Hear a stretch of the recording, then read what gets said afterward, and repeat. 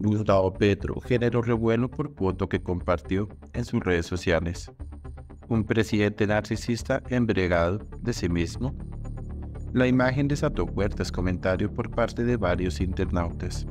Da rienda suelta a su ego publicando fotos en las que posa como prócer.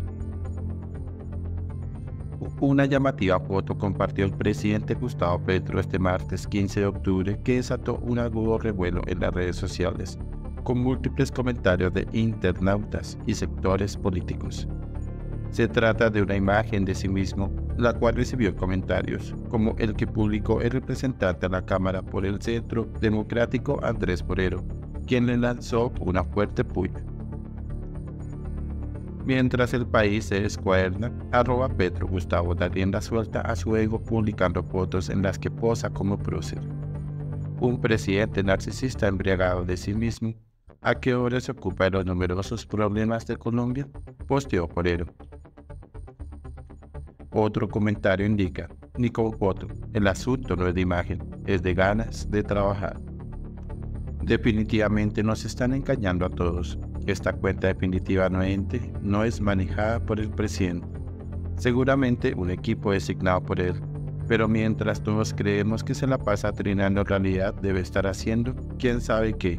Porque me niego a aceptar que tenemos un presidente que lleva su ego a tal nivel como para hacer este tipo de publicaciones cuando hay tantos temas importantes que requieren su atención.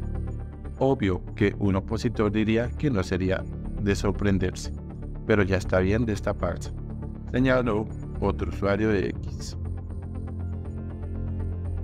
Por otro lado, el reconocido escritor Mario Mendoza presentó un perfil crítico sobre la figura de Pedro, a quien calificó como un hombre que se encarga de desdibujarse y contradecirse. Las palabras son demoledoras y causan revuelo en las filas del pacto histórico. En ese sentido, Mendoza reconstruyó el paso de Petro por el M-19, el rendimiento que tuvo en el Congreso y la llegada a la presidencia. Creí en su discurso, en su programa y en una política del amor que buscaba la fraternidad como expresión máxima de la inteligencia emocional. Para el autor, los primeros nombramientos del presidente y su gabinete pusieron a la vista una socialdemocracia de corte europeo, por la diversidad de enfoques políticos. Se recordará que al gobierno de izquierda aterrizaron personajes que por años alzaron las banderas de la derecha,